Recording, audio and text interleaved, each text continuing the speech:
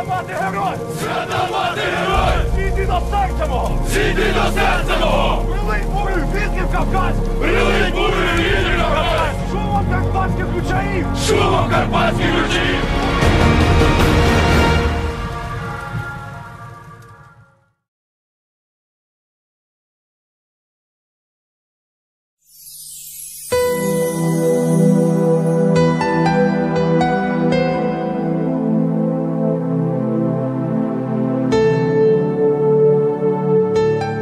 Проїжджаючи в нашому місті повз е, кінотеатр Шевченка, я побачила людей, е, які плели сітку. Нас забрали туди в палац творчості. Так створилася наша волонтерська група, яку ми назвали Армія СОС бджілки. Ми тут інтернаціонал в якійсь мірі. У нас є українці, в нас є росіяни, в нас є грузинки.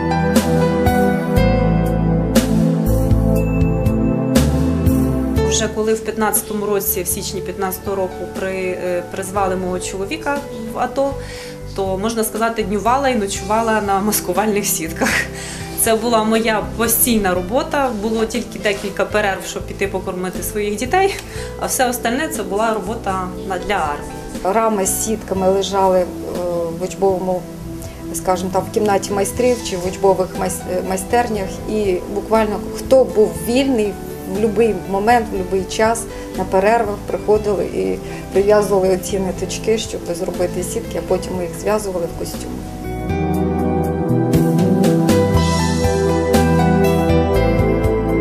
Це був вже жовтень 2014 року. Наші хлопці повернулися за то і сказали, що ми не знаємо, чим ми будемо годувати надальших хлопців, бо йдуть морози і овочі потрібно якимось чином сушити І так е, створилась друга наша волонтерська група армії СОС це Океан. Благодаря вот этому объединению мы начали сушить овощи, мы начали сушить, э, готовить борщи, дальше масхалаты, массети, кикиморы. Это был маленький, маленькая толика, э, но вариант о том, что ты часть большого. Часть большого, часть большой борьбы за свободу и независимость. Хотелось бы еще отметить много тех людей, которых, которые как бы всегда остаются за кадром. Например, э, в селах люди. Селяне, да. Э, Они э, по доброй воле, по доброте своей, по своему желанию собирают огромные продуктовые, конечно, посылки. У нас были посылки, которые девочки подписывали. Может, вы помните, выйду замуж за артиллериста. Да, и телефон. Написала, мой герой, я тебя жду.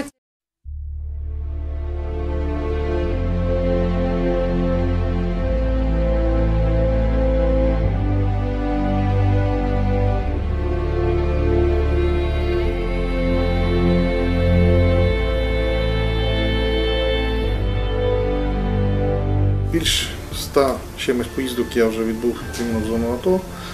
Е, Багато чого бачив, багато чого чув, багато дуже є історій, але е, коли ти вдома спиш в теплі, в добрі, в тебе є е, вода, в тебе є продукти, і чуєш від військових, що в нас нема води, в нас нема що вдітись, в нас нема що взутись.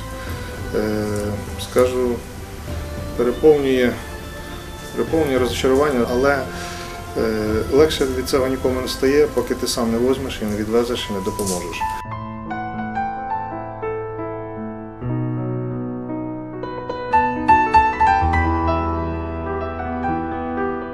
Коли ми відправляли черговий раз Сашу, то тоді сказали, що потрібно терміново кросовки бійцю якесь взуття е, по прізвищу Малиш, і потрібно був 47 розмір. Знайшли кросовки, їх бігом купили, відправили. І коли ми так вже надіялися, що благополучно вони досталися, виявилося, що Саша попав в аварію і ті кросовки пропали. І тут же зразу ж е, зібрали гроші на інші кросовки. І вони ці ж вже цьому малишу 47 розміром вони були благополучно доставлені.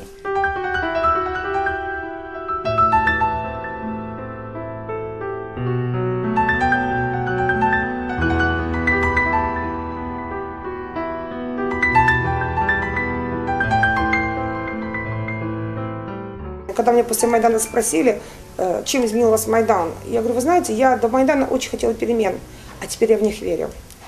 Я верю, потому что поднялись ребята, которые хотят жить в другом государстве. Возможно, мое поколение что-то не сделало раньше. И за это рассчитываются наши дети. Я молюсь, прошу Бога прощения за это.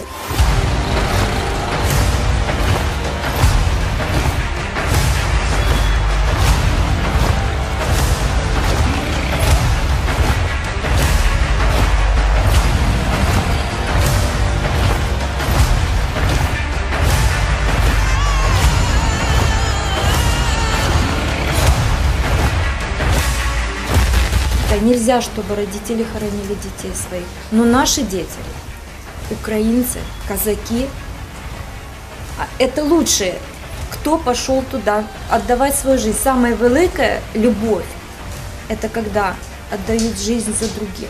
больно, и хочется, чтобы люди все-таки поняли, что война идет в стране еще, что нужна наша помощь волонтерская, и мы должны стоять до конца и подниматься все больше и больше.